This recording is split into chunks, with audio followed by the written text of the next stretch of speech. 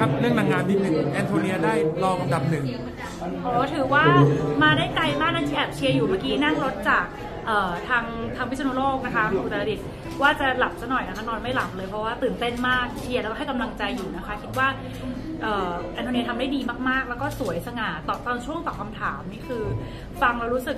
ตอบคำถามได้ดีมากๆนะคะ attitude หรืออะไรแบบนี้คือเยี่ยมมากๆ แล้วก็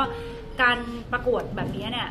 อาศัยทีมงานที่ที่ทำงานหนักนะคะ ตัวแอนโทเนียเองด้วยก็ทำงานหนัก ทั้งทีมงานทั้งหมดก็ทำงานหนักขอชื่นชมมากๆค่ะ แล้วก็อันนี้ก็พิสูจน์ให้เห็นแล้วค่ะว่า women can do anything ค่ะ